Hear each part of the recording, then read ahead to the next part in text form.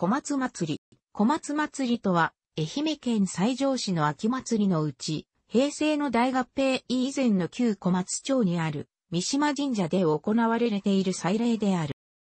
特徴は、他方に A、引き屋台がある中で、全国的にも独特で他に類を見ない、柿、柿屋台が奉納される点である。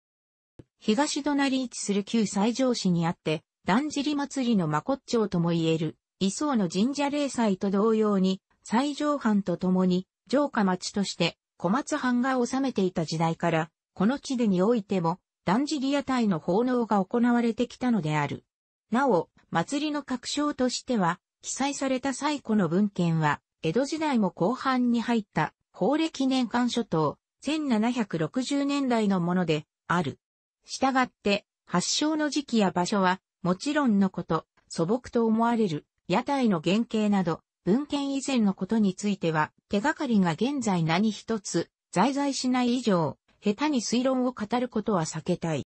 ちなみに、有名な高山祭りであっても、今に残る最も古い文献としては、上記と同時期にあたる享保元年、1716年のものである。また、高山祭りにおいても、出しや、引山、引山のことを地元では屋台と呼ぶそうである。ここでよく言う、だんじりとは、出しの形態を示す西日本特有の名称であるが、祭り関係者の間では、だんじりとは決して呼ばず、前日の高山祭りと同様に、屋台としか呼ばない。また、霊祭というのは、神社によっては、大祭りとも呼ばれ、神社で行われる祭祀のうちで年に一度の最も重要とされるものである。ところで、この二つの呼び名を重ねた霊体祭という言葉はよく目にすることがよくあるが、これは決して正式なものではなく、周囲に重厚感や盛大さをアピールしようとして、氏子衆があえてつなぎ合わせた俗称である。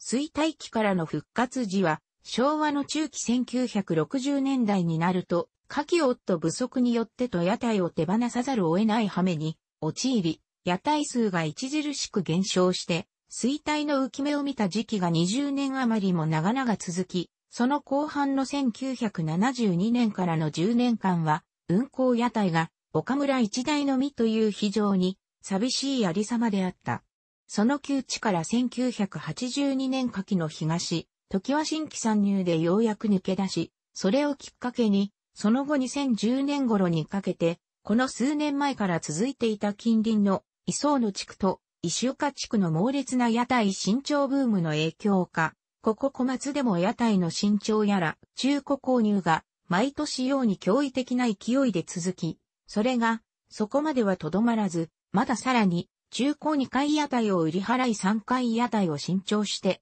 愛着の強い前屋台に持ち帰るというフィーバーぶりが各所で繰り返されたである。これでほぼ倍増した屋台数によって運行エリアは拡大され、祭り自体も往年をはるかに超える賑わいとなったのである。そして、まだまだ年ごとに祭りが盛り上がるにつれ、先に最上祭りで数年前から始められていた本祭り、前日の夕刻から始まる、宵祭りと称する前夜祭りが、見た目には本番と何一つ変わらぬ光景で行われるようになり、これで祭りはますます流星の極みを見せるに至ったのである。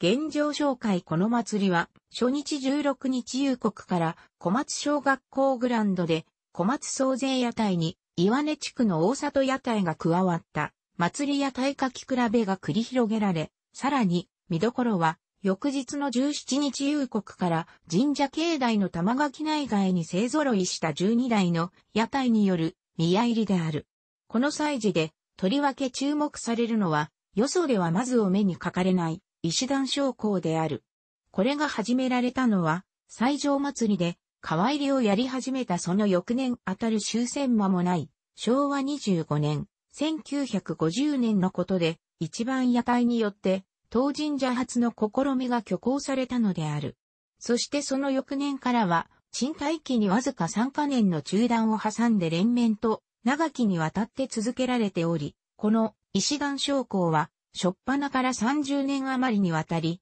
ずっといつも一番屋台の千倍特許的なお家芸であった。その後、祭りが復活して、各屋台がかなり書き慣れてきた90年代中期からは、一番屋台が書き下ろし、石段から離れた後、その他の屋台の中から年に1から2台が変わる変わる行うようになってきている。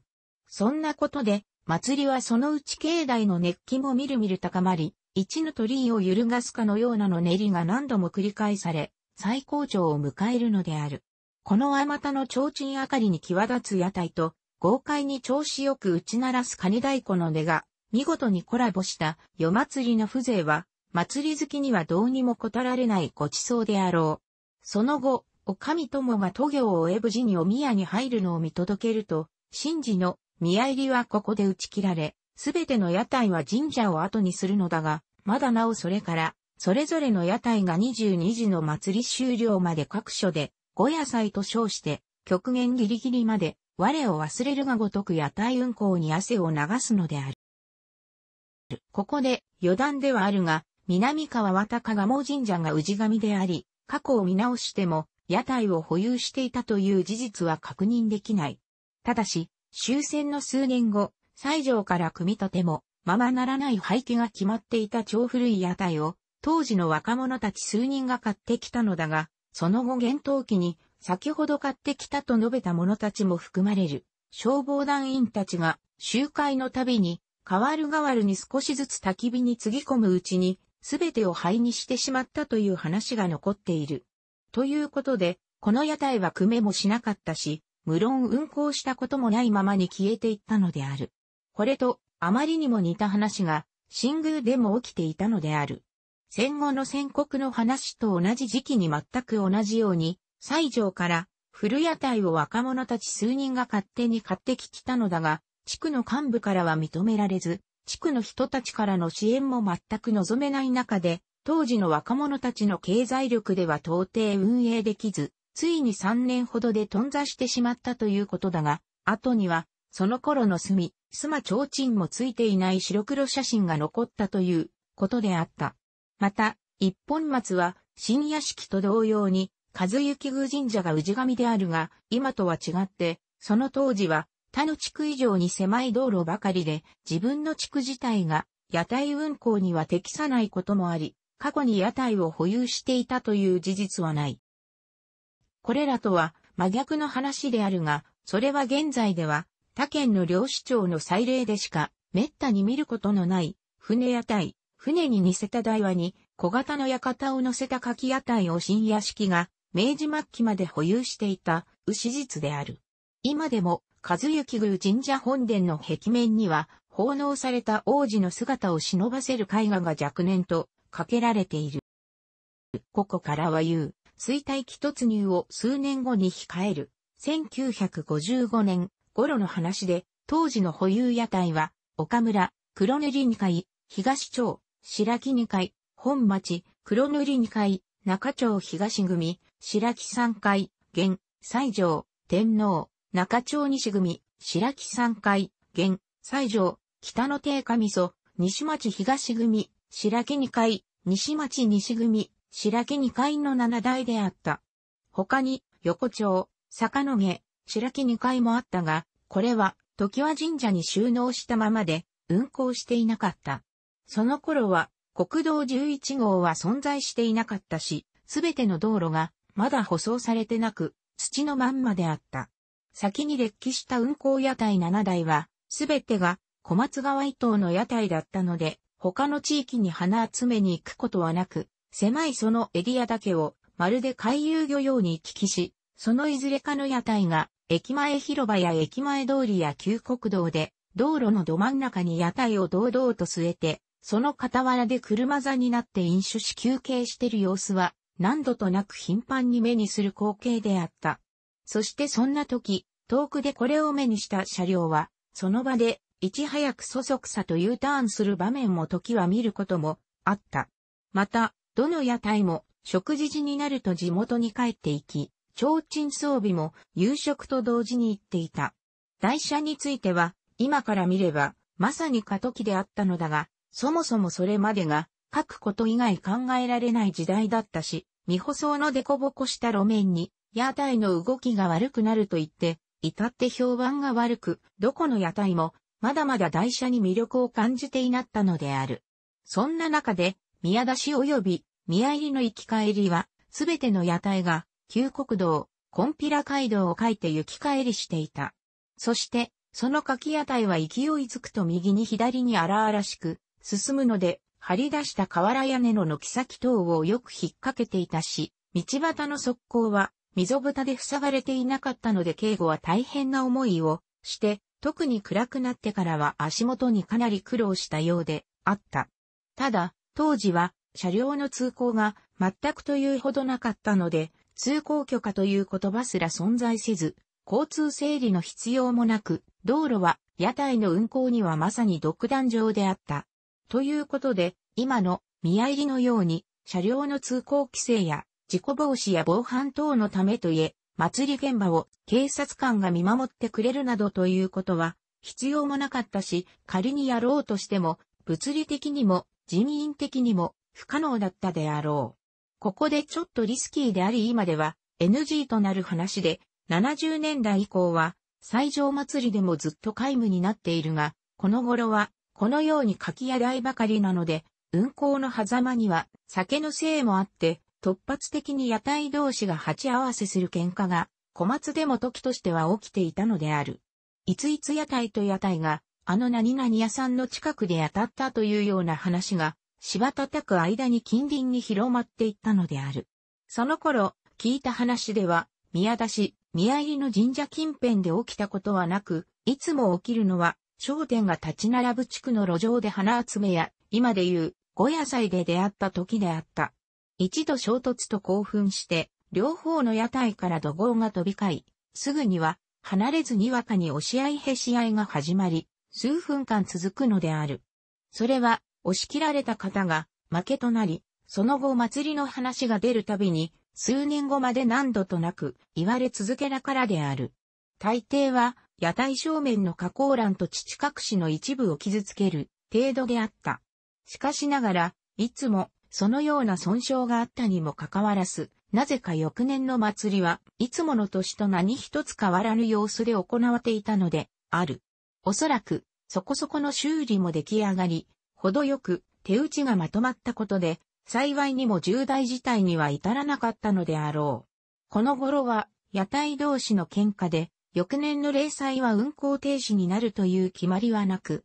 このペナルティルールが出てきたのは、先に述べた西条で当時まで、このような喧嘩がさみだれ的に続いていたで、それを何とかなくそうとしてと60年代前期あたりにに制定されたものであろう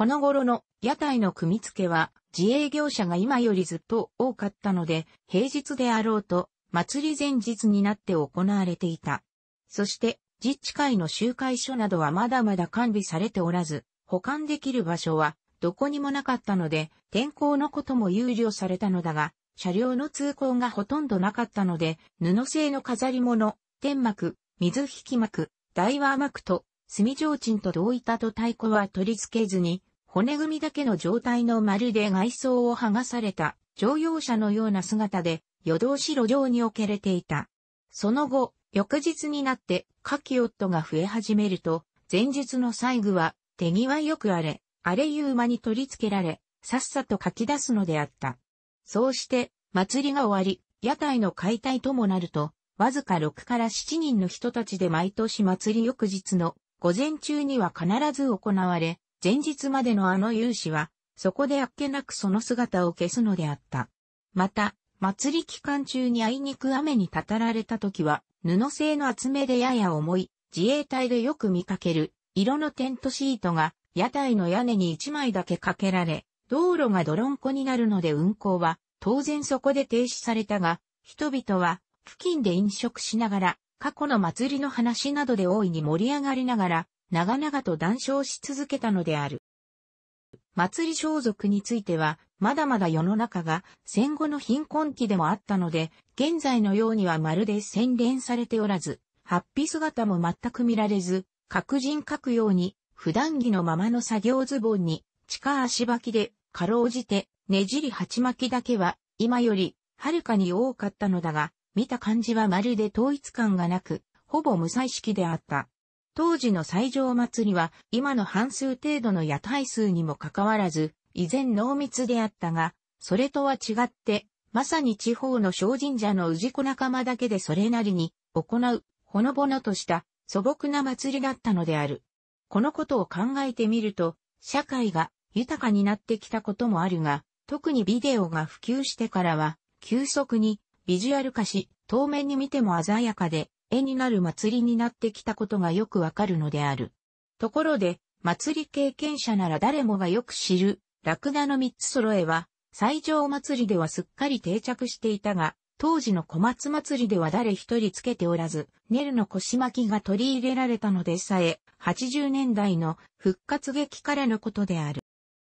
稽古太鼓については、この頃は夏休みが終わると、それを待ちかねたかのように、どこからか太鼓の音が聞こえてくるのであった。子供が溢れ返っていたこともあり、小学校から子供たちが弾けてくると、地区のおじさんに願って太鼓を運び出し、道端に無造作に置かれた太鼓に、地べたに敷いた新聞紙等に腰を下ろして行うのだが、順を争って罰を奪い合うほどの活気に溢れ、周囲は他の子供たちが道路いっぱいになって遊び回っていて、みんなで祭りが来る日を心待ちにしていたのである。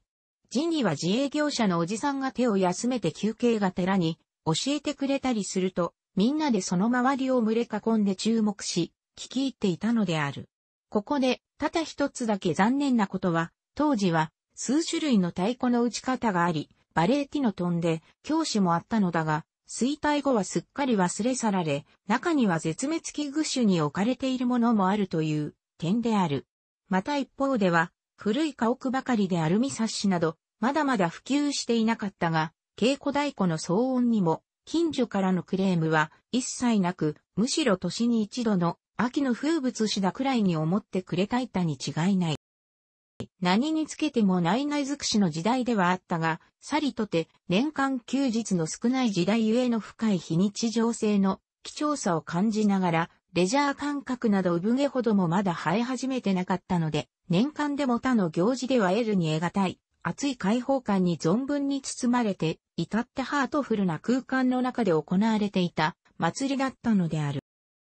後書き半世紀前の古びた話をなぜここまで長々としてきたかといえば、現在の祭り環境がいかに恵まれているか、その対比として述べてきたものである。しかし、その当時から今まで間には、まず気候の変動があり、屋台の形態は、台車、二輪から四輪を多用するようになったり、外か希望がついたりする変革を見せる中で、通行許可による制限はあるものの、それ以上に零細日以外でも屋台を目にする日が増えたり、降り方にもよるが雨天時の運行が可能になったり、また一方では、車両による人的移動の容易性や、屋台収納の安全性や、はたまた、カキオットのファッション性向上や、ビデオ撮影による娯楽性や、食料調達の利便性その他があり、多方面にわたって格段に向上する様変わりを見せてきたのである。しかしながら、古の発祥当時からずっと変わらないものある。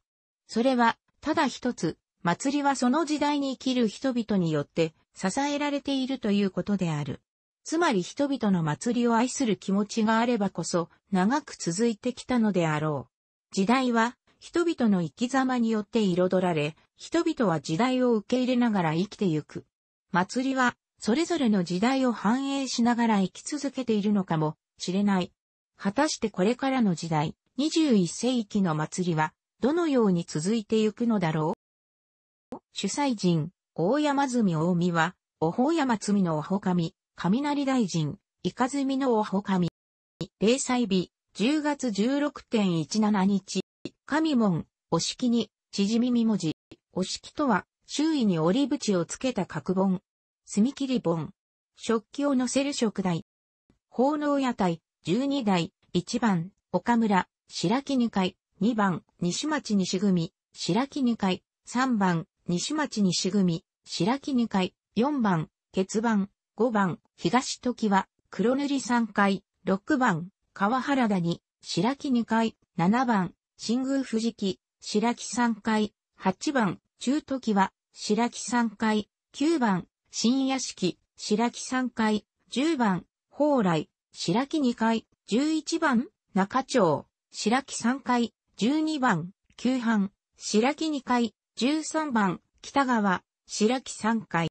別に、旧坂子供屋台、白木二階、当神社の霊祭は、市内の三島神社の中では、格段に圧巻であるが、祭り見物には、まず平和的であり気軽に行けて、混み合うこともない。三島神社は、総本社を、愛媛県大三島の大山積神社、大三島神社と、静岡県三島市の三島大社に持ち、合わせると全国に400社余り存在する。東予地方では、四国中央市三島の国道11号沿いにもあり、ここでは太古台が奉納されている。この西条市でも7社あるが、そのすべてが市内西部、東予市、丹原町、小松町に点在する。ただし、島の字を用いているのは東神社だけで、他はすべてが島の字である。さらに全国的に広げてみても、島の字は少数派である。東神社は、元は町内新宮地区北部に鎮座されていたが、たびたび中山川の氾濫に遭遇するうち、幕末になってから当地、船山の頂に移転された。ちなみに、大山積神社については、そもそもが大三島は大囲碁、三島といい、神の島とされていた。本来は、島の名前が社名であって、古くから大囲碁島神社を名乗っていたが、明治時代に入り現在の社名に改名された。全国に1万社の余りの分社を持つ。当世は国宝の島とも呼ばれ、全国の甲冑の4割と他の武具も数多くあり、名武将の奉納品がずらりと保管されていて閲覧も可能である。神門とは、その昔から地域の氏子衆が先祖代々、氏神様を地域安泰の守護神として崇め、その精神の象徴として捉えられているものである。そのため、霊祭ではその強いポリシーが、奉納屋台や細具には多岐にわたって注ぎ込まれており、屋台でひときわ目を引く、水引幕の側面には、極めてシンボル的に一つない死熱を、刺繍模試は染め抜きで施し掲げるほか、大和幕にも絵柄に添えて染め抜かれていたり、旗、また、鬼板や、東破風、からはふや屋台株正面の袖障子に埋め込まれていたりする屋台もあり、さらに、ハッピやダボシャツやジャンパーはもとより、近頃は祭り時期の気温上昇に伴い、半袖 T シャツをも含めた祭り装束全般にも、地区名の上には欠かさず付けられている。地区内に氏神を有する新屋敷屋台と北川屋台は、それぞれの氏神である、和幸宮神社と龍神社には当然のことながら奉納されるが、さらに、三島神社の霊祭においても、他の屋台と平穏に強調しながら、筒がなく運行されている。主催人、大国主の大見は、おほ国、主のおほ神。霊祭日、10月17日、神門、吉行、奉納屋台、新屋敷、当神社には、明治末まで、船屋台の奉納があったという史実がある。近年は10月16日夕刻から小松、小学校グランドで行われている全屋台による祭り屋台書き比べの後、任意に数台の屋台が当神社の境内に肩を並べ、提灯をかすめ合うような練りを展開する。主催人、大山積大見は、おほ山積のおほ神、雷神、イカズモの神、霊祭日、10月17日、神門、お式に、縮みみ文字、奉納屋台、北川、東神社は、三島神社と同じ主催人、大山積大見輪が祀られており、大仙神社の分社である。そこで仮に、大三島の大山積神社を棒の頭とすると、全国各地にある三島神社と共に別名を名乗ってはいても、大山積大臣を筆頭に祀る各地の神社は、それらのすべてが、不採との一本と考えると、見にわかりやすい。主催人、大国主の大見は、おほ国、主のおほ神。霊祭日、11月9日、神門、丸に鶴かしは、奉納屋台、東、時は、中上番、西町西組、西時は、当神社は、古くから通称、おえべすさんと呼ばれ、また、住宅街の中にありながら、道路から見上げる境内には、見応えのある桜の木々が所狭しと枝を伸ばし、ずっと地域の人たちに愛され、親しまれてきた。2000年頃からは当神社の霊祭は別にして、三島神社霊祭を間近に控えた10月初旬の休日夕刻に、新たに、時和祭と称して、時和地区屋台と近隣地区屋台が提灯姿も、あでやかに、当神社前に集い友好を深め、その後は、駅前広場や近くの元商店が色上を22時、ギリギリまで何度となく行き交い、互いに絡み合いながら、とことんまでにぎにぎしく往来し続ける。主催人、司書島姫命、一木島姫の御事、